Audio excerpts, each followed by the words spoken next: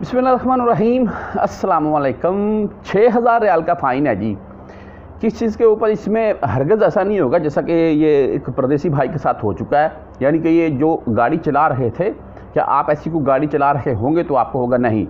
आप इस ज़ुमरे में आ जाएँगे, चाहे आप कोई भी गाड़ी चला रहे हैं, चाहे आप मोटरसाइकिल चला रहे हैं। ठीक है जी?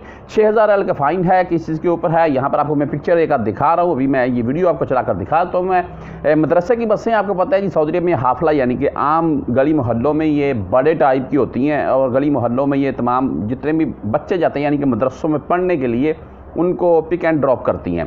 तो इनको अगर आप रास्ता नहीं देंगे तो इस चीज़ के ऊपर भी आप जुर्मदार हैं जी और आपको इस चीज़ के ऊपर भी फ़ाइन होगा। लेकिन अगर ये किसी ये गली मोहल्ले में रुक कर किसी बच्चे को ये उतार रहे हैं, यानी कि ये रुकी हुई है और आपको पता है कि ये बच्चे उतर रहे हैं और आप इसको ओवरटेक कर रहे हैं हारन दिए बगैर और वो भी स्पीड के साथ, इस चीज़ के ऊपर आपको छः हज़ार रियाल का फ़ाइन होगा। साथ में अभी मैं आपको वो वीडियो दिखानी शुरू कर चुका हूँ मैं। आप वीडियो देख लें, बाद में मैं इसके मतलब एक दो बातें शेयर करूँगा मैं।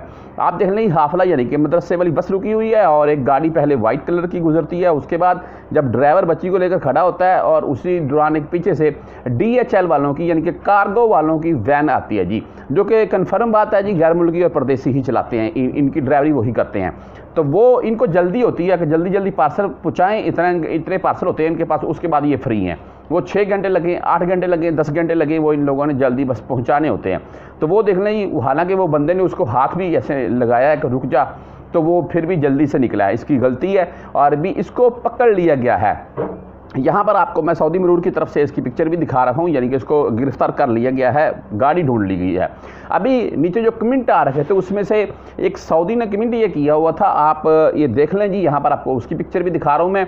उसमें सऊदी ने यह कहा गया था कि ले वक़ तरीक हुआ तरीक मौजूद ही नसानी। यानी कि आप रोड के ऊपर इसको क्यों खड़ी कर रखे हैं? चाहे मदरसे वाली बस है, साइड पर हालाँकि जगह खाली थी, आप वहाँ पर खड़ी करते और आपको कोई भी किसी किस्म की मुश्किल ना होती।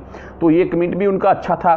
जो मदरसे वाली बसें हैं, अगर कहीं पार्किंग वगैरह मिलती है तो उनको साइड पर करनी चाहिए। लेकिन गली मोहल्लों में आपको पता है, इतनी बड़ी बस के लिए पार्किंग होती ही नहीं है। वो दरवाजे के आगे खड़ी करते हैं और बच्चों को उतारते हैं और आगे चलते हैं।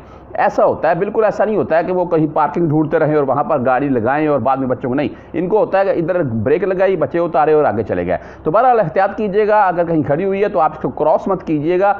हॉर्न बजा लें जब वो ड्राइवर आपको बोल दे जा सकते हैं तो आप चले जाएँ, वरना छः हज़ार का फ़ाइन है।